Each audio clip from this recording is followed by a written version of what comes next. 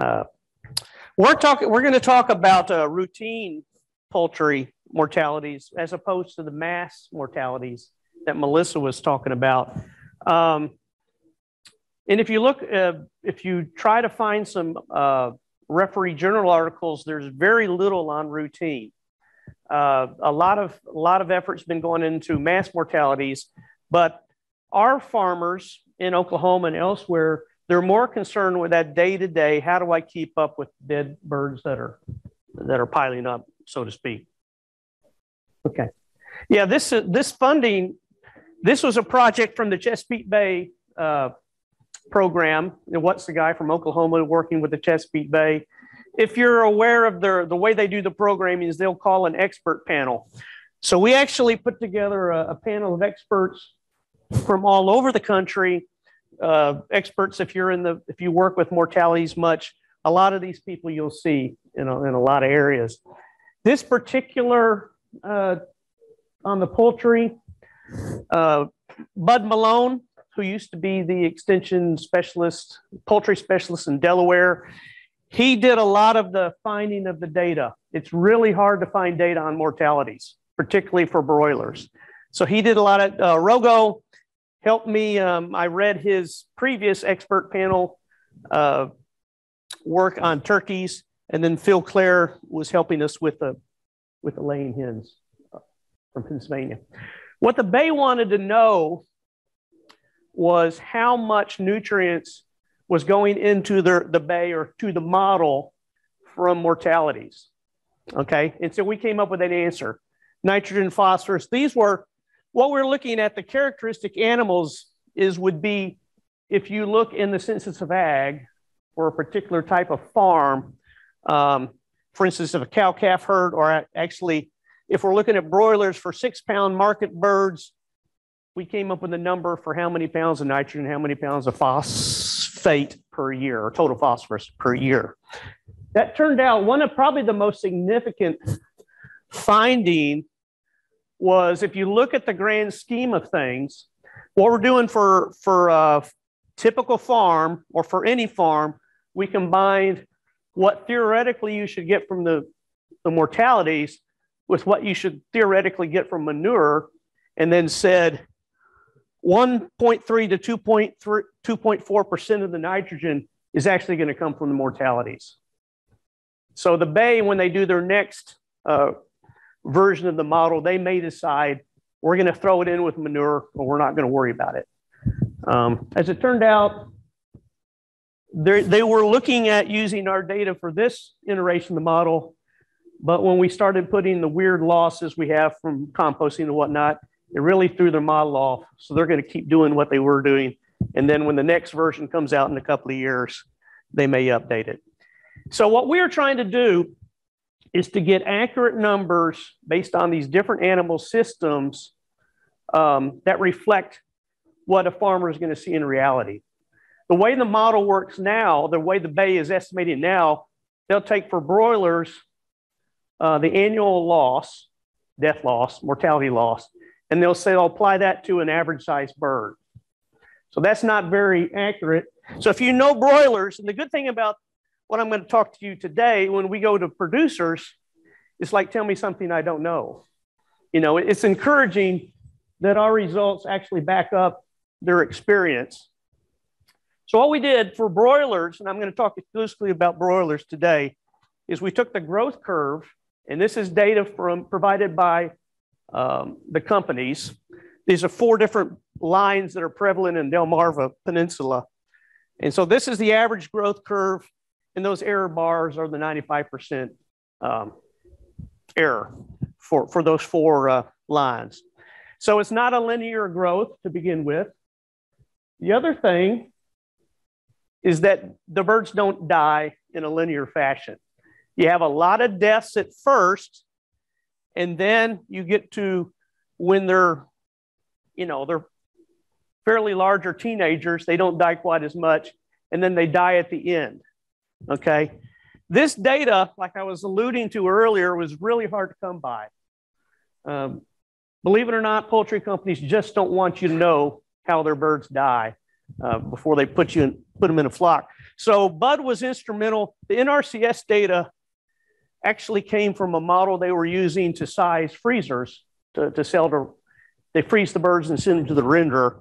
The industry data, I don't know where it came from. Some large integrator in um, the Chesapeake Bay, he got the data that they're, uh, when we go to publish this, it may be interesting to see if we can actually get it published.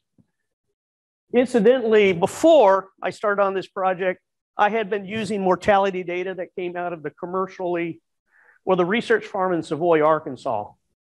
And it looks an awful lot the same. Um, but these are for actually for birds that are antibiotic free. So nowadays, they didn't want to use that old data because they were all antibiotic birds. Uh, antibiotic, um, what they call it, they, they vaccinate them in the egg. So they were antibiotic for, these are antibiotic free. So you combine those two, the growth and the, uh, the mortality, and you can end up with what we're showing here is the weight of mortalities per flock of 1,000 birds um, that they collect at the end of each week or during the week. Okay, you can see it fits a nice exponential curve. Uh, a lot of little chicks die at first, but they're not very big, so they don't add much mortalities.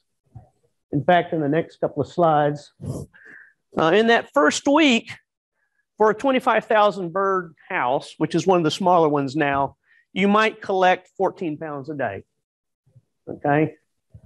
Uh, once you reach week number five, and they're about a five pound bird, uh, you may collect 68 pounds a day. And then when they're big, and we were we went on a little field trip out on the, the eastern shore of Maryland. Once they get above about six pounds is when they really start to die. You know, they have a lot of heat stress. They're bigger birds and they're, they're crammed close together.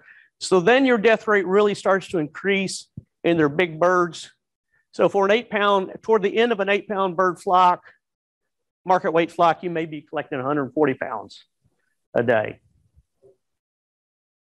If we went back, if I was a really good mathematician, I would integrate that growth curve, that, that uh, the weekly death curve. But uh, we just add them up and get a cumulative amount of uh, mortalities collected. And being it's relative child play, and since we're the have the minds of children, we put it back together for the cumulative production for a grow out period. For instance, if you're growing four pound birds for that entire four weeks, four or five weeks, you may be collecting 40 pounds for a thousand pound for a thousand birds. Okay. If you're growing 10 pound birds, you're collecting 250, five times as much. Um, so one of the problems we have in Oklahoma, particularly, is when a lot of the producers were getting cost share to build disposal methods, they were growing four pound birds. In the 90s, they were growing four and six pound birds. Now they're growing eight and 10 pound birds. And it's almost impossible to manage those systems anymore. So this data we can use to go in. Uh, we will get, Bud and I will get this published at some point, I'm afraid I screwed up. Don't want to end the show. Next. Yeah. So, what can you do with this information? Um, in uh, the Bay and also in the state of Oklahoma, we basically have five disposal methods that we can use. And basically, in, in Oklahoma, they're left with incineration and composting. We have no landfills that'll accept dead animals since the Cherokee Nation closed down our only landfill that would accept animals. Uh, rendering is, is unheard of anymore. And uh, burial, it's uh, when you have a, a little bit of birds every week trying to keep a burial pit going, is just a god awful maggoty mess, to, to put it bluntly. All right. All right. I accidentally hit the pad. So for incineration, you need to size or, or buy your incinerator to accommodate the largest single day mortality. So for instance, if you're having, well, they should plan on having eight or 10 pound birds basically, and then getting that last week production. the daily production. For our bin composters, it's actually a goat composter that they built in Langston, which is our sister institution, our 1890 school. Uh, we need the, the basic sizing should be based on that mass per grow out. And if they're following our recommendations, the mass of the volume of birds is actually a very small amount of that. So multiply that by maybe 15 and you get the volume of birds they're gonna, the volume of space they're gonna need to compost. And they also have to adjust that, adjust that to their daily pattern. Basically, we're, we're layering our compost. Um, we put down, uh, in Oklahoma, we generally put down a layer of chicken litter, then put some wood shavings or something on top of that, then lay our little chicks and then cover them. And then we're going to layer that up till it's about my size. And then you'll let it cook. Move to the next bit.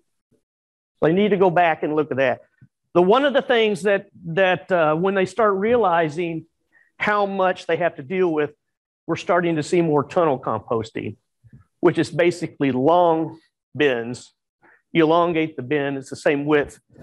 Um, we have a lot of problems with management in these scavengers. It's really hard to keep the buzzards and the coyotes out. So a lot of people are uh, then looking to do something different. We have some rotating drum composters. That one's actually in Delaware County, Oklahoma. Um, you can get cost share now to go back retrofit and uh, do a rotating drum. This is the Eco Drum system. Mark Hutchinson took this picture. Basically, to size that, you need 20 days from end to end. So you can take all those daily loadings depending on where you're at in the cycle. And uh, that's how you'll design your, your system. Why 20 days? In order to kill the influenza virus, you need to be over 130 degrees for 20 days. So that's the other thing they don't realize that just leaving them there for a couple of days and then hauling them off isn't going to cut it. It really doesn't get rid of the viruses. So research needs, we need to go back and find out is this data actually accurate? And uh, tomorrow, I should be in LeFlore County, Oklahoma, giving this talk, uh, giving a similar talk. So one of the things I'm trying to get out in the state and collect some data to, to verify, my goodness, whether this is good or not. With that, oh, talk a little bit about layers.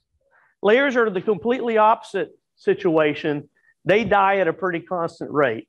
We bring them in when they're almost fully grown birds at about 20 weeks of their life, and they die at a fairly linear rate of maybe one bird per uh, thousand birds. But if you've got, if you're a big egg laying farm in Arkansas with a million birds, that's still two tons a day, you know, for years. So it can be a lot. Turkeys are a lot like the um, the broilers in that they're we they have the same growth and death patterns, similar growth and death patterns, except for we raise the hens and the toms in two different systems, and we raise the toms to much larger size.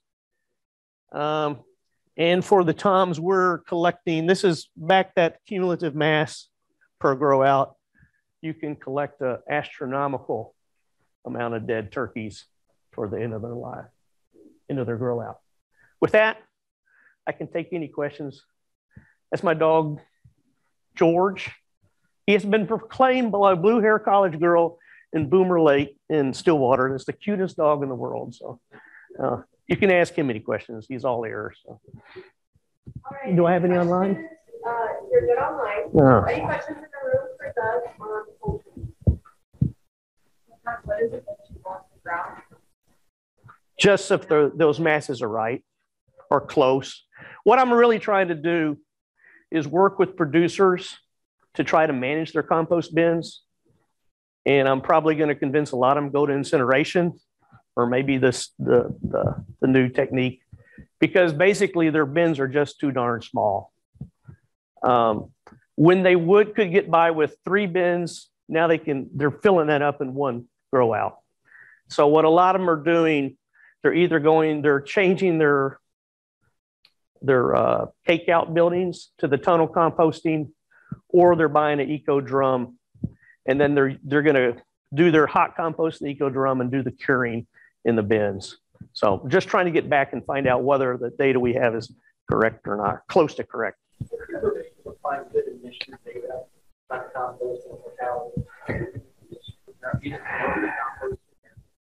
Yeah, I will refer you back to this, our document when it finally comes out. Probably the our journal article. If you're ever familiar with working with Chesapeake Bay, it takes forever for everybody to agree.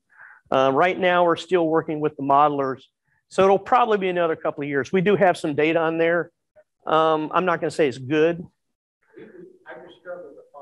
It's all of this is hard to find. Um, I, uh, I could tell you the number that's in my head, but it's probably wrong, so I won't. But there, the data's out there is actually um, not your pre- your predecessor in Minnesota. No, Larry, no, not Larry. Anyway, well, there is some data, and I think it was either out of Minnesota or Iowa. I'm not sure which. But anyway, there is some data there. I'll, I'll get with, back with me, and I'll I'll find that the, the source for you.